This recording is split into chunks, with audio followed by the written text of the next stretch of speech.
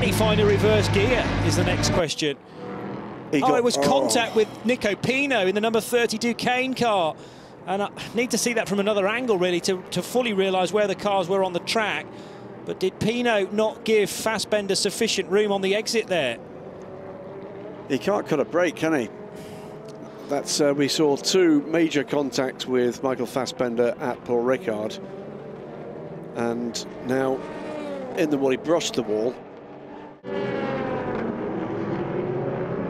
So car 72 still with Arnold Robbat. Oh, we're on this big off there for Johnny Lawson, who clatters the barrier not once but twice. See again what happened here. The 43 car Lawson off the track came past, and then there was a hit to the side, side to side between the Oreca and the Ferrari, and it sent one car into the barrier stage right and one stage left.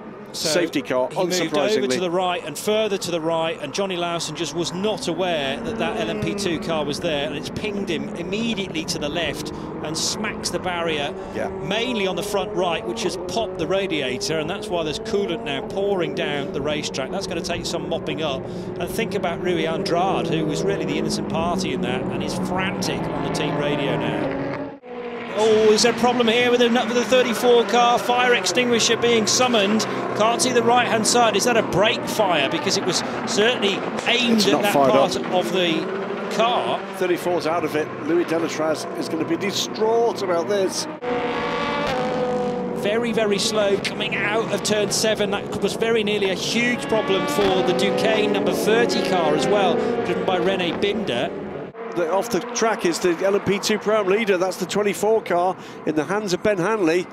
Sixth place overall, and what has happened there? But uh, Ben Hanley rejoins the track, but that's delayed him enough for Charlie Eastwood to take the lead.